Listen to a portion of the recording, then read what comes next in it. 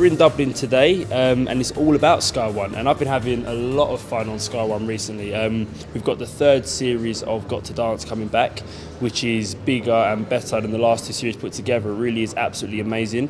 We've done the audition process, and we're just waiting to go live now. And also Ashley Banjo's Secret Street Dance Crew, which is a brand new show that's coming out, which no one would have seen before. And it's all about me taking um, unlikely dancers, you know, darts team, dinner ladies, police um, polo players and turning these groups of people into a street dance crew in a limited amount of time in secret to all their friends and family. So it's just a really fun, feel good show. We're here promoting um, my new show called uh, Moone Boy, which uh, Sky is, uh, is doing with us.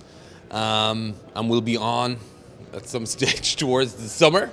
Um, and it's a terrific show which um, centres on kind of a 12 year old version of me in 1990 in Boyle and Roscommon, um, who has an imaginary friend who I shall play. Well, Sky One has shifted. Now we commission more homegrown content than we have American content. About 60% of our output's homegrown.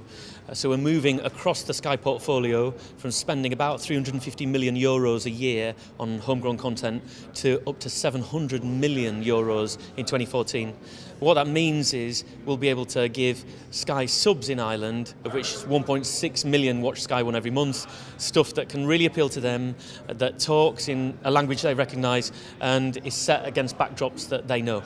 The idea for Secret Street Dance Crew came from a statistic I read that said 85% of people can't or won't dance, and I think that's rubbish. So when it was put to me, okay, well then put your money where your mouth is and teach these people, and I was given the kind of demographic of the people, you know, darts players, you know, who don't do any type of activity at all. They just throw darts, drink beer, and you know, it was like, wow, this is going to be difficult. But um, it's a challenge that I accepted, and you have to watch it to see how it turns out.